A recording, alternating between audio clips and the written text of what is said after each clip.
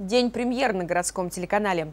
10 мая стартуют сразу два новых юмористических проекта СТС. В 21.00 в эфире комедийный сериал «Пушкин», а в 20.00 «Беглые родственники». Главная звезда этого ситкома – Сергей Жигунов. Будет и смешно, и интересно.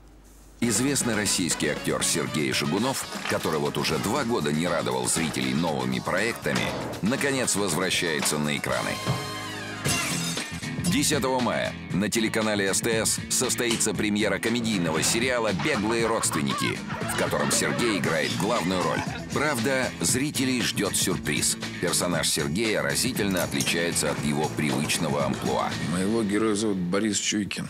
Кто он, сказать трудно. Владельцу Чуйкин Групп были предъявлены обвинения в мошенничестве в особо крупных размерах. И он объявлен в международный розыск. Ты преступник, ты все, ты доигрался.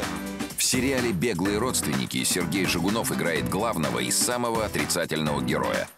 Опа. Но отрицательный он только на первый взгляд. То, что он вытворяет, это уму непостижимо. Он такой отрицательный, что это даже нравится. Это концертный номер все время. Прости, семья, мама, прости, не грусти, отпусти, не думала, чтоб сын твой вырос совсем. Остолоп. За время съемок Сергею пришлось побегать в халате по реке, неоднократно получить по голове и даже повисеть под потолком.